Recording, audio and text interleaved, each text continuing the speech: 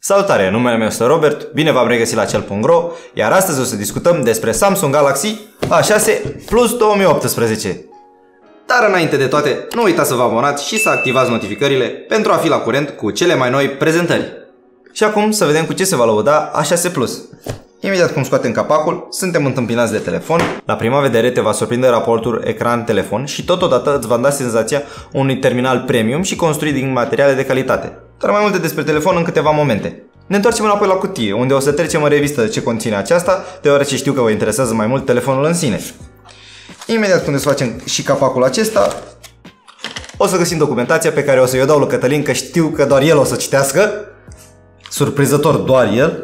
O să găsim încărcătorul cu o putere de încărcare de 1,5 A, căștile telefonului, cheița pentru sloturile SIM și SD, dar uh, nu sunt foarte bine împachetate aici din păcate și nu în ultimul rând cablul de încărcat și de transfer de date micro USB.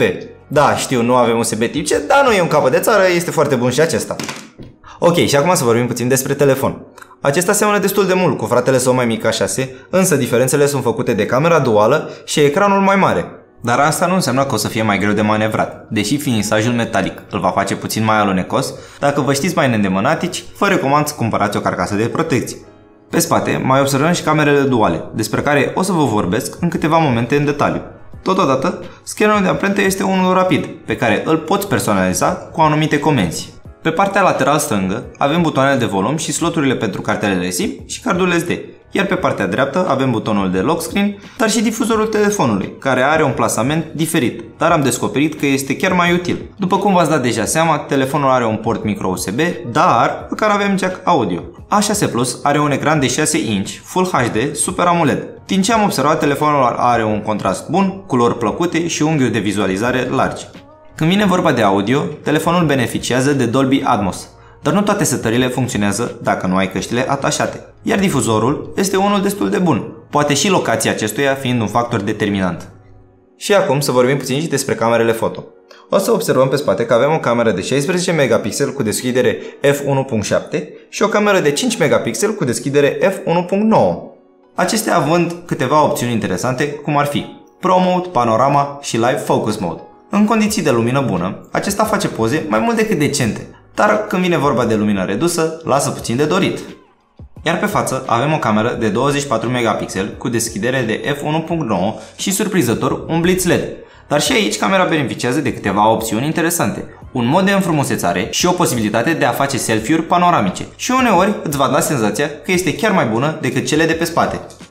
Când vine vorba de procesare, A6 Plus are un procesor Snapdragon 450, sistemul de operare fiind Android 8.0 Oreo, iar în testele sintetice a avut scoruri normale pentru un telefon mid-range. În Antutu a scos un scor de 69.860, iar în Geekbench 4, testul single core, un scor de 741, iar cel multicore 3787.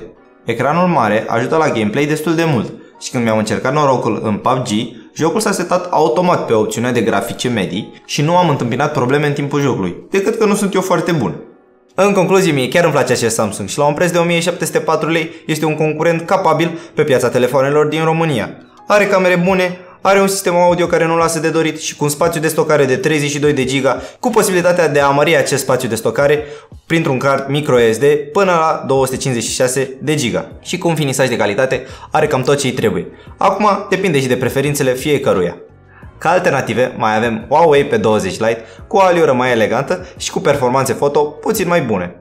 Totodată mai avem Nokia 7 Plus, tot cu un ecran de 6 inch, dar cu o autonomie mai bună a bateriei și cu rezultate mai bune în Antutu.